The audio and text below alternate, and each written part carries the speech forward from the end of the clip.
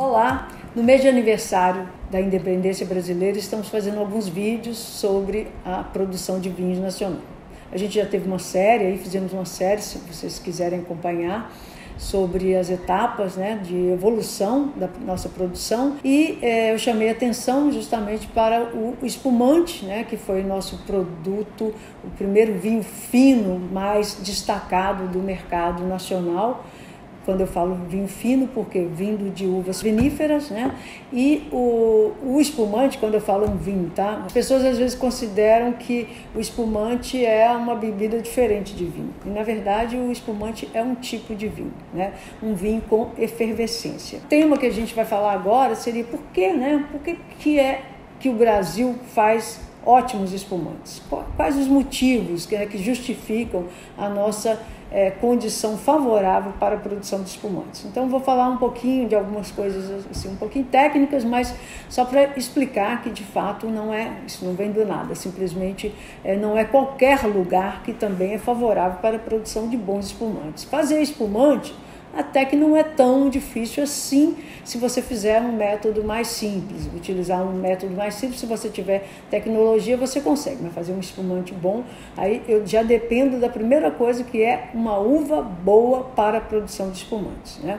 Sempre a gente vai considerar que para eu fazer um vinho bom, a primeira condição, né, sine qua non, é que eu preciso de uma uva de ótima qualidade para aquele fim, para aquele objetivo. Você pode até fazer um vinho ruim de uva boa, mas você não consegue fazer um vinho bom sem uma uva boa, né?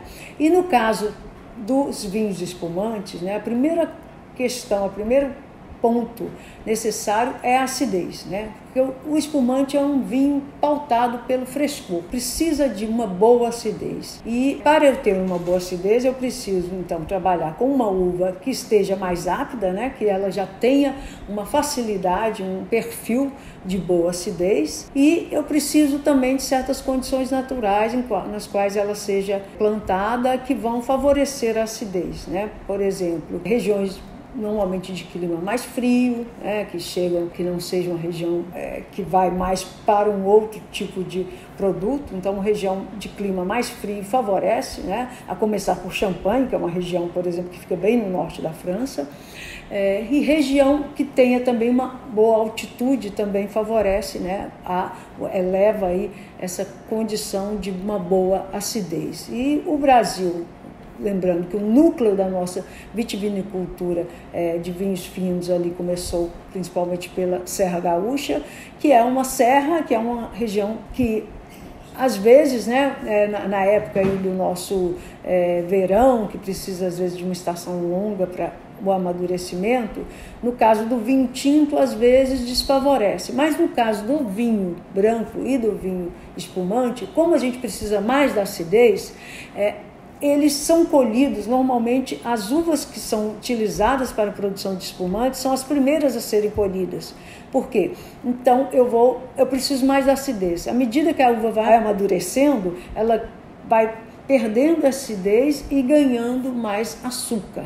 No nosso caso, a gente precisa de mais acidez e menos açúcar porque a graduação alcoólica do espumante é menor, né? Ela varia em torno aí de 11 graus enquanto um vinho tinto aí vai a partir de 13 graus. Então, o que acontece? Se eu trabalho com uma uva que tem uma maturação mais precoce, que não precisa de muito tempo para amadurecer, que tenha um bom nível de acidez, né?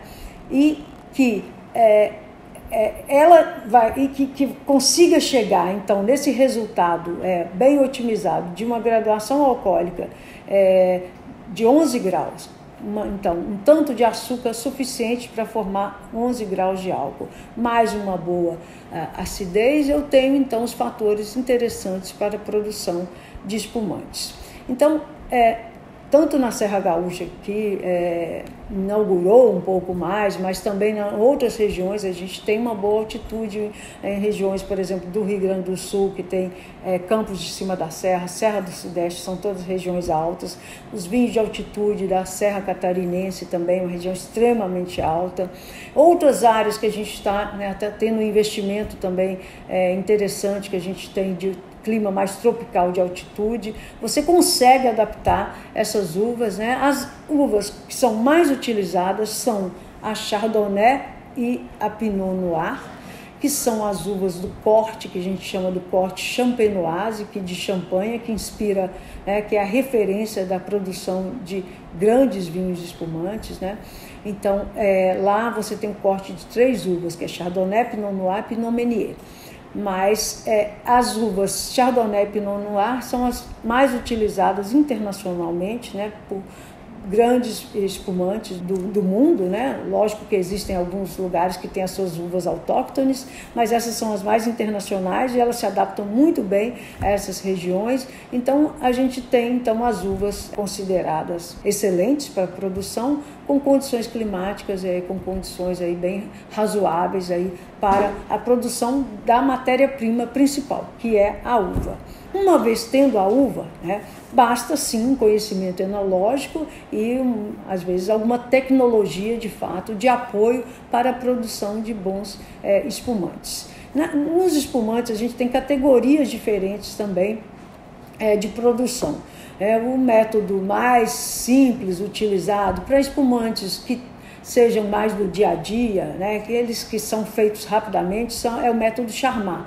É um método em que você faz a tomada de espuma que a gente chama, né? Que na verdade o espumante ele é feito a partir de um vinho base e depois eu tenho uma, normalmente o mais utilizado, uma segunda fermentação, né?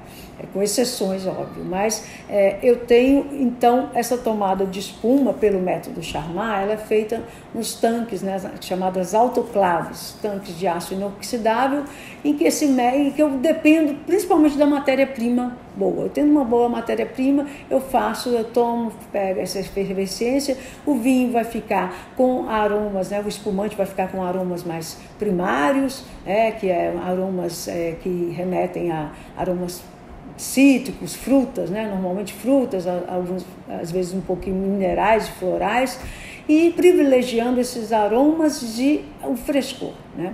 Isso a gente faz e faz às vezes né, de vinhos mesmo os do método de armar mais simples, muito melhores do que outros espumantes é, internacionais que as pessoas compram, às vezes por causa do nome internacional, achando que é muito melhor. Então, privilegie a, é, a compra de vinhos espumantes nacionais, prestigie o nosso produto, porque ele é muito bom. Se você ainda tiver, quiser um espumante mais elaborado, é, a gente também tem isso já, né, bem é, com condições bem é, já avançadas aí de produção para fazer os vinhos que são chamados segundo método champenoise. Normalmente você vai encontrar no rótulo, quando o espumante é feito por esse método, vai vir uma indicação de método tradicional ou clássico, método clássico. Se vier, é porque o espumante é feito é, nessa base aí em que essa segunda fermentação ela é feita diretamente na garrafa.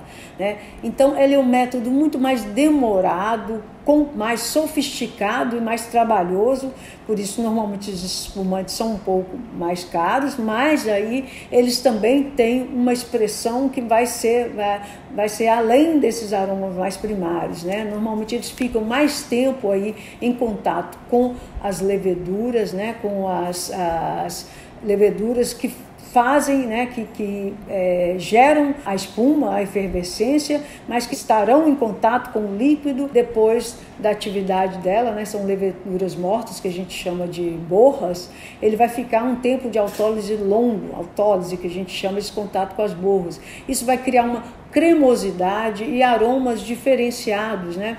Aromas é, que vão, que lembram mais é, pão, né? Levedura, a, processo de panificação é, e às vezes também é, esses próprios vinhos base para os espumantes eles são trabalhados também com passagem por barrica então eles podem né, com o tempo com a maturação ter aromas que a gente considera não só os primários mas secundários e terciários é, são aromas mais evoluídos que são mais longos, né? A gente tem uma percepção de uma textura na boca diferenciada, uma complexidade organoléptica maior e às vezes também uma persistência maior que vai remeter justamente à produção do champanhe, né? Porque ela é inspirada no método de champanhe. No entanto, o espumante feito pelo método de champanhe, que não é feito em champanhe, mesmo na França, não pode ser chamado de champanhe. Né? Na França ele é chamado, por exemplo, de cremant e em outros lugares vai ser chamado, no caso do Brasil, vai ser chamado de espumante aí,